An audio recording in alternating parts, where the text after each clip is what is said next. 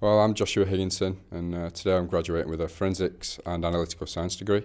Graduating today, I'm just sorry that I won't be, get to relive that part of my life again. Mean, it signifies achievement, really. All the hard work that I've done over the last four years has paid off, and it's something that I get to keep with me for the rest of my life. I mean, I came to Huddersfield because I knew a lot of the lecturers already, so I knew what the teaching side of the course would be like.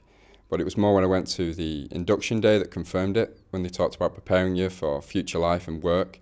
And now they had a placement year where you could work for a while and then it sort of give you an insight to what real work is about and maybe make some contacts. It was really, you know, the idea of preparing you for future life that I liked. Well, I started off as like one of the least academic people on my course. So for me, the placement really allowed me to use the skills I'd learnt here in the real world. My placement was in an actual biomedical lab in the University of uh, Virginia. All the things that you've learned at Huddersfield across the pond in America, you, can still use them. So no matter where you are in the world, you've always got lasting techniques, lasting knowledge, which will help you get you through whatever you're thrown into. Not only academically have I developed, I've also developed more on a social level.